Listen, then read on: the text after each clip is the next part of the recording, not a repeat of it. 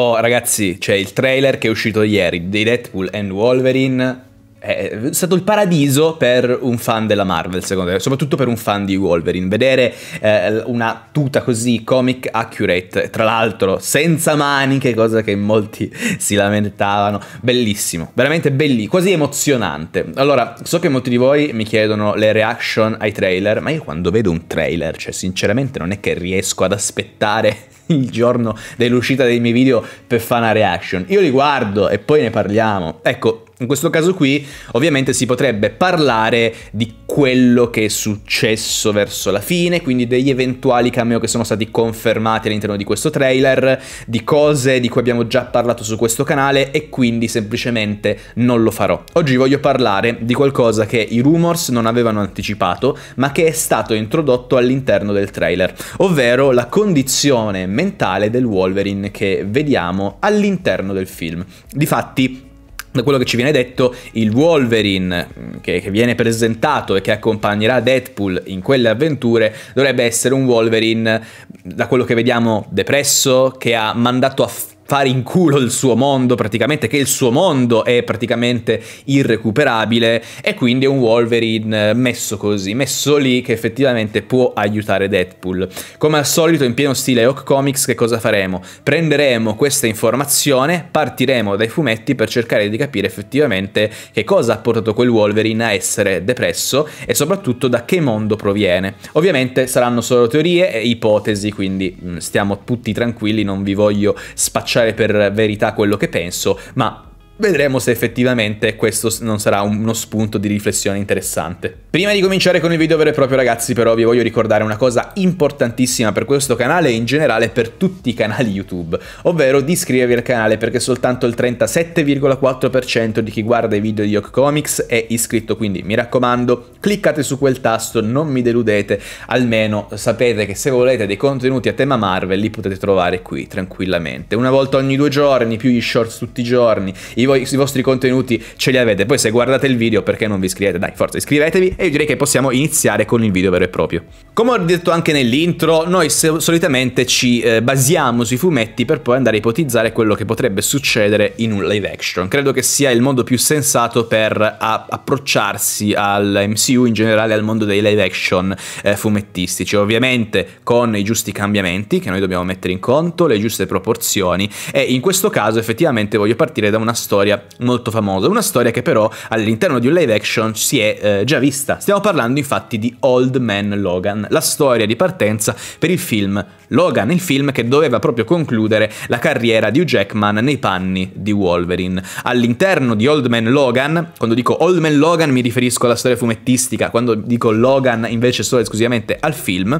Comunque parlando di Old Man Logan, in realtà la storia certo fa vedere le avventure di questo Logan molto vecchio all'interno di questo mondo eh, quasi post-apocalittico, anche se in realtà non stiamo parlando di un mondo eh, post-apocalittico, ma siamo eh, lì vicino. Eh, e in più all'interno dei fumetti effettivamente vediamo che cosa ha portato alla, uh, a, a, far diventare questo mondo uh, in, in, quelle condizioni lì, quindi semidesertico con i villain che governano tutto. Nel film Logan invece no, nel film Logan vediamo soltanto uh, il futuro, la parte del presente che quindi sarebbe stato un buon flashback è stata totalmente tagliata e viene sol solamente citata, però non sappiamo effettivamente che cosa sia successo, almeno se vediamo solo esclusivamente il film Logan. Ecco, questa parte quindi che sarebbe dovuta essere un ipotetico flashback eh, del film Logan e che quindi eh, potrebbe essere rivista tranquillamente nel film Deadpool and Wolverine, potrebbe essere appunto il punto di partenza per la depressione che noi vediamo eh, nel Wolverine eh, presentatoci appunto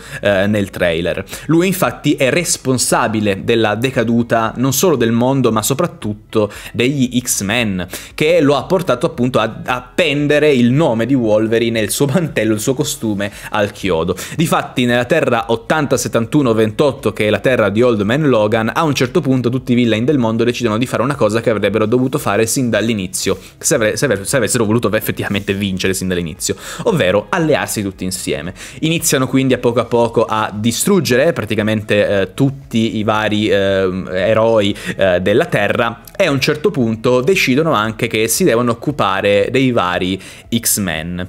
Cosa fanno quindi? Eh, decidono eh, di eh, il piano per sconfiggere gli X-Men è molto elaborato e anche molto sadico. Difatti a Wolverine arriva un messaggio. A quanto pare 40 villain hanno attaccato la X-Mansion, ovvero la magione eh, degli X-Men, il loro quartier generale. Non riuscendo a contattare i suoi compagni né a localizzarli, Wolverine irrompe nella magione e trova davanti a sé tantissimi villain, iniziando quindi a ucciderli tutti per proteggere i suoi compagni e anche i bambini che effettivamente eh, so, trovano rifugio all'interno eh, di quella casa e che sono difesi dagli X-Men. Wolverine fa un massacro, ammazza tutti, sangue ovunque. L'ultimo che uccide sembra essere Bullseye, il noto mercenario, ma dopo aver ucciso l'ultimo villain scopriamo che in realtà tutto quello non era altro che un'illusione, un'illusione generata proprio da Misterio, che aveva indotto Wolverine a pensare di avere di fronte a sé dei villain e scopriamo quindi che in realtà Wolverine non ha ucciso dei villain, dei cattivi, ha ucciso i suoi compagni degli X-Men.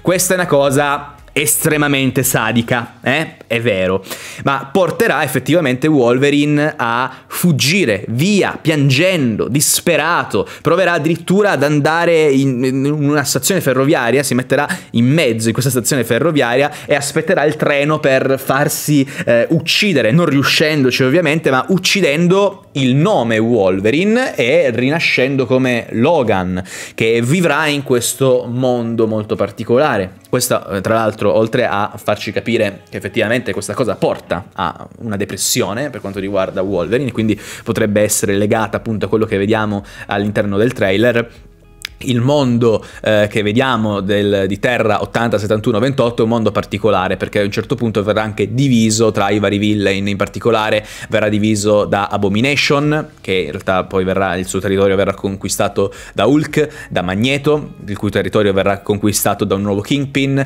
da Doctor Doom e da Red Skull che diventerà il presidente, tra molte virgolette presidente, eh, degli Stati Uniti d'America.